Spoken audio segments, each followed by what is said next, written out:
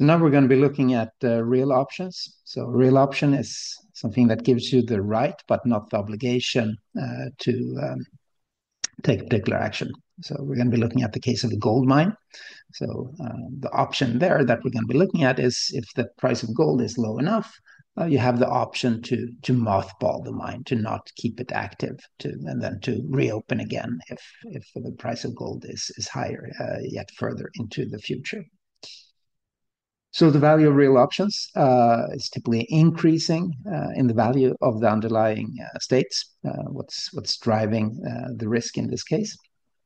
And there's a close analogy to financial options. So, for instance, if you look at a call option in in finance, this is something that gives you the right but not the obligation to to purchase a stock at a particular price. So there's a close analogy, and we're going to be looking at one particular example here. So here we've plotted in Excel a very simple case. So assume that S here, the state or the price of gold, if we're looking at a case of a gold mine. So running from 1 here to, to 17 here. So if you're running this mine, uh, it, you would need to always have it open, always be in operation. Well, at low prices of gold, you'll be operating at a loss. So negative here. And then if price of gold is, is higher, you're running a, a profit. You're we're now interested in the real option. So the option to mothball the mine, the option to keep it closed if uh, the price of gold is too low. Okay, so in this case, for simplicity, we just said, you know, we could think of some small cost of, of keeping it mothballed, but for simplicity, set that to zero. It's not going to be central for our argument. So if, you know, price of gold is low enough, you just keep it closed, make a profit of zero. But then if price of gold is, is higher, uh, you make uh, you make a profit. Okay, and we're going to be interested in seeing how does value of the option to close the mine depend on uh, the expected values or the risk that we are facing in the price of, gold. So we've here plotted the relation between the price of gold, yes, here on the horizontal axis, and profits measured on the vertical axis. So let's first uh, look at a case where there's no uncertainty. So assume that the price of gold is equal to 8 for sure.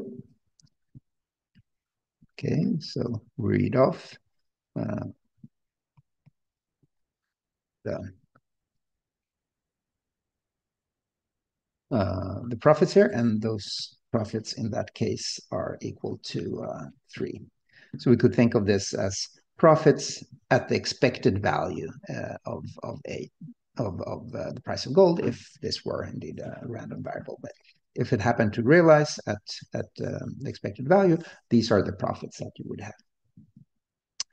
We're then interested in how the option of closing down the mine or how the, the, the value of this mine uh, depends on the amount of risk that you're facing. So just as a benchmark, let's look at a case where there's relatively little risk. So we take a mean preserving spread in the price of gold, but we make it relatively small, okay?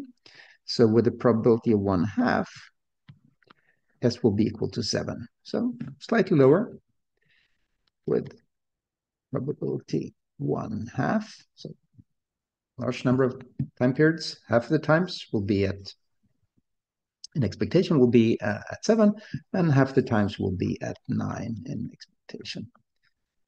Okay, so we can confirm that that's a mean preserving spread in the price of gold, since we're looking, so with probability one half, going to be at seven. With probability one half, we're going to be at nine.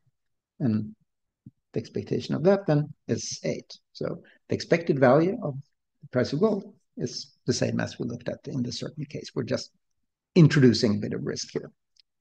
What's expected profits in this case? Well, from what we know before from looking at uh, risk neutral decision making, when we have a linear uh, relation between the state and uh, our um, our outcomes. Uh, we expect that uh, we're only going to be interested in the expected value, and that's going to be the case here as well. But let's just confirm that.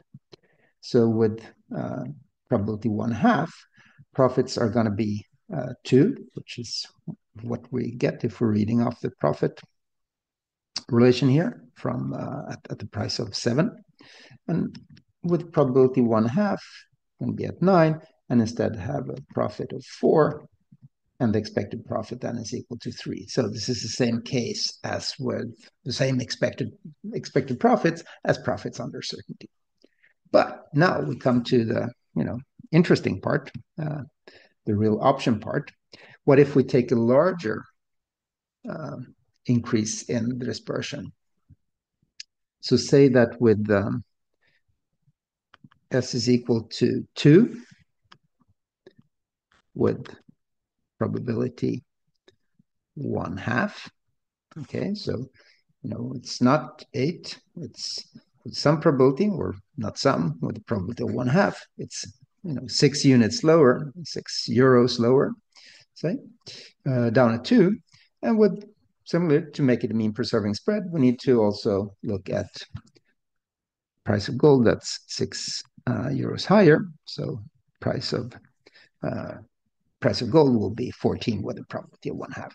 So just to confirm that this is really a mean preserving spread, we look at the expected price of gold. So it's one half times two plus one half times uh, 14.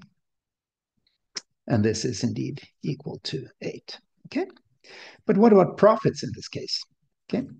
What are expected profits? Well, they're either going to be low, all the way down to zero here, or they're going to be high, up on 14, one time, one half times. And what are, if the price of gold is 14, uh, the uh, profits are equal to 9, and this is equal then to 4.5. So 4.5 being higher than, than 3. So here, an increase in the risk uh, increased the expected value for this decision maker.